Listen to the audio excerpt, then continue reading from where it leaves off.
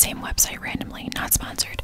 Here's option one. My friend Logan actually wore this dress to my wedding, so she told me I could borrow it. I just need to try it on. So this is kind of my first contender because it's really cute and I would just have to borrow it from a friend.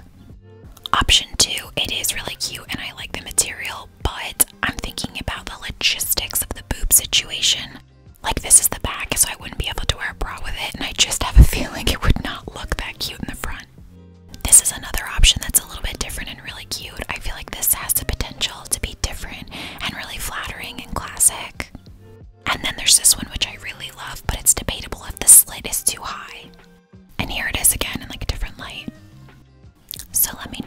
which one you guys like